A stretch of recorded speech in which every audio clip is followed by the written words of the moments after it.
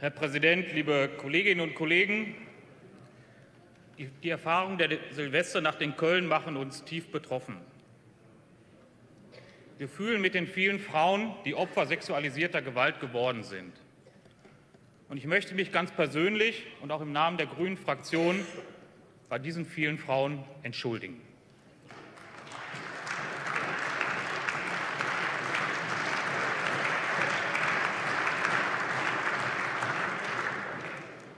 Es tut mir aufrichtig leid, dass es nicht gelungen ist, diese Frauen an diesem Abend in Köln ausreichend zu schützen. Ich finde es wirklich beschämend, dass dies auf einem zentralen Platz einer sehr schönen und unserer größten Stadt des Landes passieren konnte. Und ich weiß, dass viele Menschen in diesem Land sich nach diesen Geschehnissen in Köln ganz persönliche Gedanken gemacht haben. Und ich will Ihnen sagen, ich, auch ich habe dies getan. Ich habe mir überlegt, was wäre gewesen, wenn meine 20-jährige Tochter dort in Köln gewesen wäre, wenn sie begrapscht, bestohlen oder Opfer anderer Taten geworden wäre? Mir ist schon sehr klar, über welche Dimensionen wir reden, wenn wir über die Taten in Köln reden. Und genauso und deswegen und nicht erst seit Köln kämpft unsere Fraktion gegen sexualisierte Gewalt und macht dies zum Thema. Wir haben dies auch zum Thema gemacht im Rahmen von sexualisierten und sexistischen Texten von Popmusik oder anderen Dingen, die Sie noch in kleinen Anfragen als lächerlich abgetan haben. Wir verteidigen die Freiheits- und Bürgerinnenrechte in diesem Land. Und dazu gehört auch, dass diese Rechte nicht mit einem Federstrich durch populistische Debatten rechtskonservativer Politiker vom Tisch gewischt werden dürfen.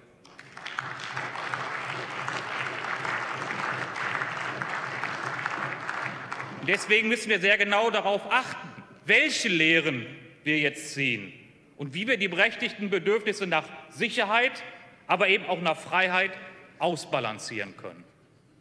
Eine erste und ganz herausragende Arbeit ist es, verloren gegangenes Vertrauen zurückzugewinnen. Und deswegen müssen wir die Geschehnisse in Köln aufarbeiten. Wir werden sehr genau prüfen müssen, warum nicht zusätzliche Polizeikräfte in jener Nacht abgerufen worden sind, obwohl sie zur Verfügung gestanden haben. Und wir müssen sehr genau klären, welche Kommunikationsstränge zu verbessern sind. Und ich sage an dieser Stelle auch ganz deutlich, weil das eben auch, wie ich finde, in einem etwas abenteuerlichen Vortrag geschehen ist, wir haben als Grüne die Aufstockung des Personals der Polizei in den letzten Jahren nachdrücklich unterstützt.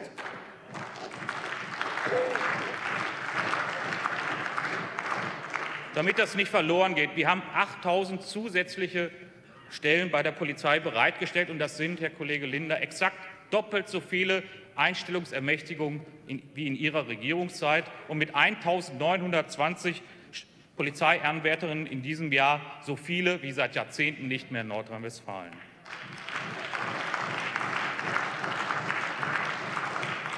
Und dies entspringt auch einer ganz einfachen Überlegung.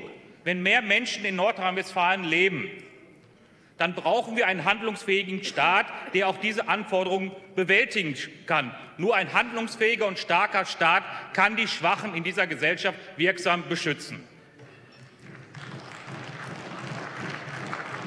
Auf der Basis der erheblichen Zuwanderung in den letzten, im letzten Jahr, und wir gehen davon aus, dass auch in diesem Jahr wieder Flüchtlinge zu uns kommen werden, haben wir unter anderem 5.766 zusätzliche Stellen in der Schule geschaffen. Wir haben die Betreuungsplätze in der Kita ausgeweitet und wir haben auch die Justiz gestärkt. Und, und da beißt die Maus keinen Faden ab, wir haben natürlich auch dafür gesorgt, dass die Registrierungsverfahren durch zusätzliches Personal gestärkt werden und eben auch die Polizei.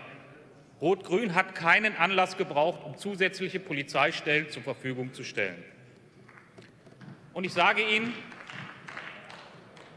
und ich sage Ihnen an dieser Stelle, wir unterstützen ausdrücklich auch das Ansinnen der Landesregierung, weitere Polizeikräfte, und ich sage ganz ausdrücklich, auf die Straße zu bringen, in, um, um, sie sichtbar zu machen und für die Strafverfolgung, Prävention ähm, einsetzen zu können. Und ich sage noch etwas.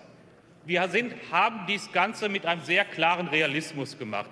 Wir waren nicht davon ausgegangen, dass die Menschen, die aus anderen Ländern zu uns kommen, alle nur das Beste wollen und dass niemand von ihnen straffällig wird. Auch deswegen gehen wir davon aus, dass die Polizei entsprechend mit Stellen ausgerüstet sein muss, im Übrigen auch die Justiz, um beispielsweise abgelehnte Asylbewerberinnen in den Ablehnungsverfahren, die dann anstehen, ähm, schnell zu einem Verfahren bringen zu können. Und wir waren da ganz illusionsfrei. Wir wollten nichts vertuschen und wir haben auch nichts beschönigt. Wir wollen auch nichts verbergen. Liebe Kolleginnen und Kollegen, mir ist ein Punkt aus den Punkten der Ministerpräsidentin wichtig hier anzusprechen.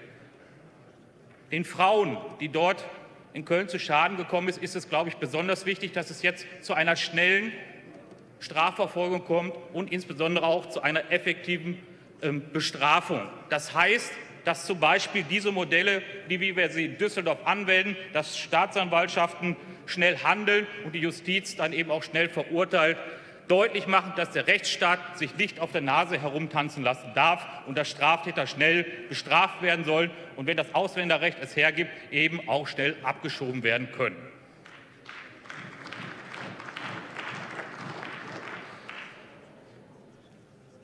Die Menschen sollen sich sicher fühlen können auf öffentlichen Plätzen, auch bei Feiern, und sie müssen der Polizei vertrauen. Es geht um das Vertrauen darin, dass die Polizei die Sicherheit gewährleistet im Alltag und am Festtag und im Zweifelsfall auch für eine effektive Strafverfolgung dort. Daran darf es keinen Zweifel geben. Der Staat muss sein Gewaltmonopol durchsetzen können.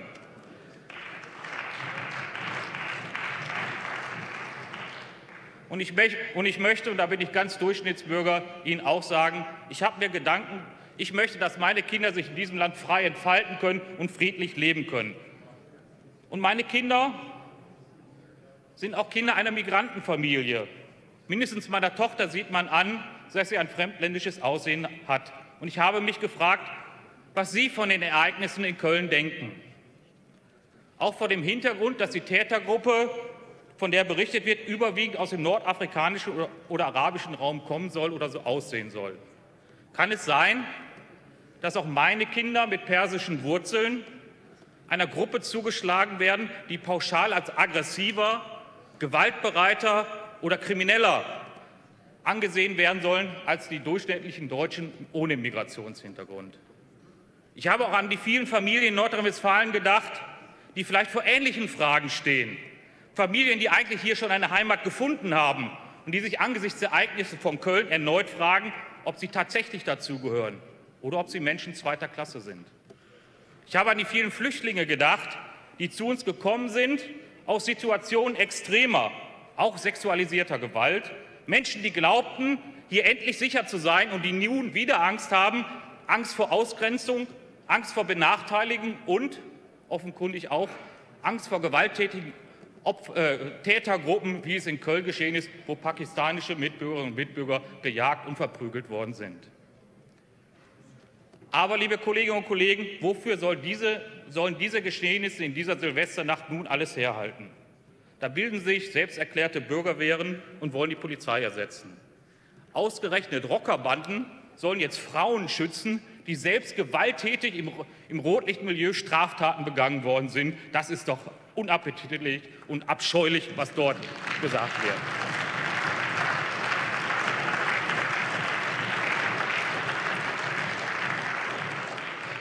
Und ich kann nur alle von dieser Stelle aus warnen, die Taten von Köln nicht zu instrumentalisieren. Die Frauen, die in Köln zu Opfern geworden sind, dürfen jetzt nicht für eine Politik des Generalverdachts herhalten. Sie dürfen nicht als Verschiebemasse auf dem Bahnhof der Rechtspopulisten dienen. Auch in dieser Auseinandersetzung stehen wir alle als gewählte Volksvertreterinnen in der Pflicht, liebe Kolleginnen und Kollegen. Aber, und das will ich an dieser Stelle deutlich sagen, ich gucke nicht nur auf die Ränder, ich gucke auch, was passiert denn hier im Landtag. Und ich hatte den Eindruck, und ich hatte den Eindruck, es geht nicht mehr wirklich um die Sache. Heute geht es darum, den Innenminister zum, Zurück, zum Rücktritt zu, zu treiben. Ihnen ging es nicht, und ich habe Herr Kollege Laschet und Herr Kollege Lindner wenig von der Aufarbeitung der Vorfälle in Köln gehört. das Ganze gipfelt doch darin, dass Sie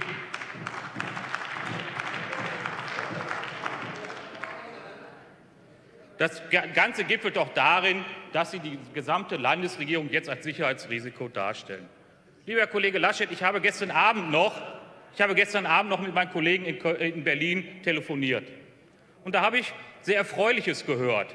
Ich habe gehört, dass die allermeisten Rednerinnen und Redner, sowohl von CDU und SPD, nicht der Versuchung erlegen sind, die Vorkommnisse in Köln für, populistischen, für populistisches äh, nicht der Versuchung unterlegen, die Vorkommnisse in Köln für populistischen und billigen Populismus auszunutzen. Das liegt möglicherweise auch darin, dass unser Innenminister und auch die Herren äh, Schürmann und äh, Heinen im Bundestag dem Innenausschuss Rede und Antwort gestanden sind, leider ganz anders als der Bundesinnenminister und auch die Vertreterin des Bundes hier im Innenausschuss des Landtages. Und in dieser Befragung zeichnet sich doch folgendes Bild von den Geschehnissen in der Nacht in Köln. Die Berichte der Bundespolizei decken in wesentlichen Teilen die Erkenntnisse der Landespolizei, zumindest soweit sie mir bekannt sind, ab. Die einzelnen Beamtinnen und Beamten haben trotz erheblichen persönlichen Einsatzes, das will ich ganz ausdrücklich sagen, hochachtungsvoll und vielen Dank an alle Kolleginnen und Kollegen, die in Köln tätig gewesen sind. Und trotzdem waren diese Beamtinnen und Beamten offensichtlich überfordert. Sie waren nicht im ausreichenden Maße in der Lage, die Frauen zu schützen, die Strafverfolgung durchzuführen. Und auch bei der Feststellung der Deliktsarten decken sich die Erkenntnisse der Bundespolizei mit den Erkenntnissen der Landespolizei. Es gibt allerdings einen ganz wesentlichen Unterschied. Die Landespolizei hätte zusätzliche Kräfte anfordern können die Bundespolizei allerdings nicht. Es standen keinerlei zusätzliche Kräfte bei der Bundespolizei zur Verfügung.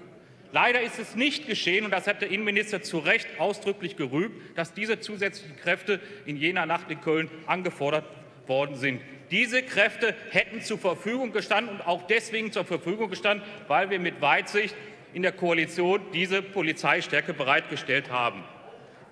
Hier stellt sich doch die Frage, welcher politische Minister hätte denn in dieser Nacht eine persönliche Verantwortung für sich reklamieren müssen?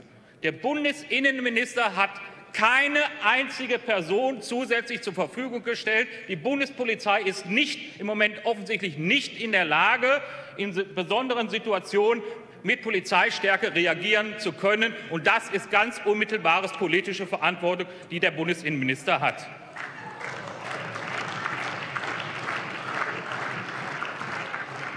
In der Absprache Hören Sie doch mal zu, Frau Glüder. In der Absprache mit der Landespolizei wäre es zudem möglich gewesen, nach meiner Einschätzung zu sagen, hört mal Leute, wir sind überfordert, fordert doch zusätzliche Kräfte an. Und auch hier ist zu fragen, warum dies nicht geschehen ist, warum die zusätzlich zur Verfügung stehenden Polizeikapazitäten nicht abgerufen worden sind. Nach, nach, nach dieser schlichten Betrachtung des Sachverhaltes, der sich für mich in dieser Nacht stellt, bricht das Sittengemälde zusammen, das Sie, Herr Laschet, vom Sicherheitsrisiko des Innenministers Jäger gezeichnet haben. Oder, das wäre die Alternative, Sie müssten diesem Sittengemälde hinzufügen, der Bundesinnenminister ist das wahre Sicherheitsrisiko dieser Republik. Das machen Sie natürlich nicht.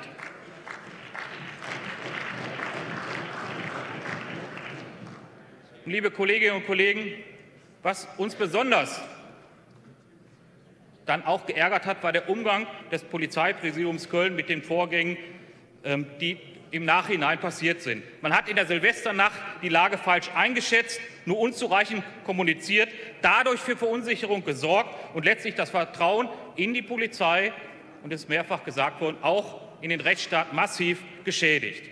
Entsprechende Konsequenzen wurden gezogen. Und ich will es ganz klar sagen, wir als Koalition haben größtes Interesse an einer lückenlosen Aufklärung von dem, was in Köln passiert ist. Erstens, um die Strafverfolgung zu sichern und zweitens, um Erkenntnisse gewinnen zu können, wie derartige Vorgänge vermieden oder zumindest wirksam bekämpft werden können, liebe Kolleginnen und Kollegen.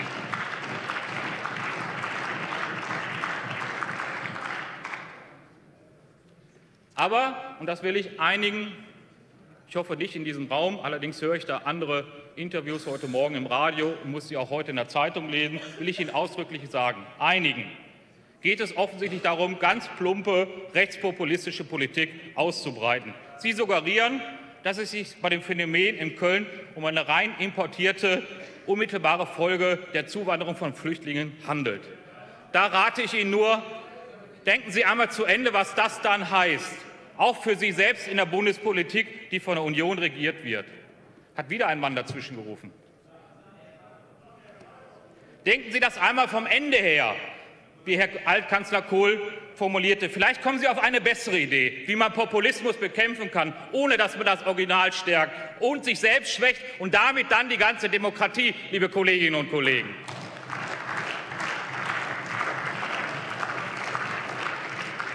Und ich sage Ihnen deutlich, wir machen konkrete Vorschläge. Die Ministerpräsidentin hat einen ganzen Katalog heute vorgetragen. Wir setzen uns für schnelle Asylverfahren ein, und das nicht erst seit 2016.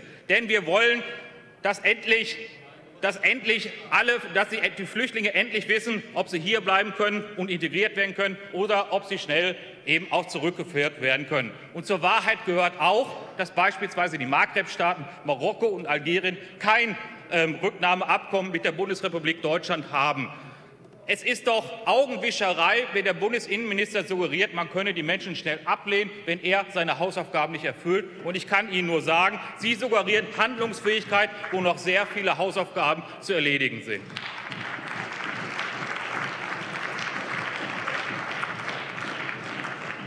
Und ich warne an dieser Stelle ausdrücklich davor, Versprechungen zu machen, die nicht eingehalten werden können, und auch ausdrücklich vor Aktionismus.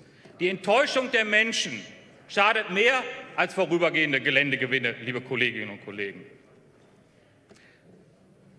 Herr Präsident, liebe Kolleginnen und Kollegen, wir Grünen kämpfen seit Jahrzehnten gegen sexualisierte Gewalt, dafür, dass Frauen über ihren eigenen Körper verfügen können, dass sie selbst und frei und selbstbestimmt leben können, frei auch von patriarchaler Gewalt. Und heute wehren wir uns entschieden dagegen, Frauen, die Opfer von sexualisierter Gewalt geworden sind, für populistische Zwecke zu instrumentalisieren. Und weil uns, und weil uns der Kampf für Frauenrechte so wichtig ist, darum sind wir vorne mit dabei, wenn es darum geht, Konsequenzen aus den Vorgängen aus Köln zu ziehen. Wir wollen die richtigen und zielgerichteten und wirksamen Konsequenzen ziehen. Solche, die Frauen wirklich helfen und deren Sicherheit und Wirk äh, die, deren Freiheit und Sicherheit wirksam schützen. Deshalb schlagen wir vor, eine Veränderung des Sexualstrafrechts vorzunehmen, die es ermöglicht, gegen sexuelle Belästigung wirksamer vorzugehen als bisher. Und hier muss sich vor allem und hier muss sich vor allem die Union bewegen, mit Blick auf die sogenannte Istanbul-Konvention, die bereits 2011 verabschiedet worden ist. Artikel 36 verlangt dort, dass jede nicht einverständliche sexuell bestimmte Handlung unter Strafe zu stellen ist. Wir Grüne wollen, dass endlich mit dem Grundsatz ernst gemacht wird, Nein heißt Nein. Wer ein solches Nein Wer ein solches Nein nicht akzeptiert, ist ein Täter. Der muss die Härte des Rechtsstaates spüren und strenger Strafe entgegensehen. Und es muss auch möglich sein, liebe Kolleginnen und Kollegen, dass ein überraschender Griff beispielsweise an die Brust einer Frau nicht nur als Beleidigung wie heute bestraft wird und eine Freiheitsstrafe bis zu einem Jahr möglich wird, sondern deutlich härter bestraft werden kann. Wir müssen Wir müssen auch über die Einführung des neuen Straftatbestandes eines sexuellen Angriffs nachdenken, der gegenüber der bisherigen uneinheitlichen Rechtsprechung klarer und restriktiver fasst, was überhaupt als sexueller Übergriff zu werten ist. Und liebe Kolleginnen und Kollegen, es wäre wichtig, wenn diese Lehre aus Köln gezogen wird, dass das Problem sexualisierter Gewalt auch mit strengen und klaren Strafen bekämpft werden muss. Und auch hier ist die Bundesregierung in der Pflicht.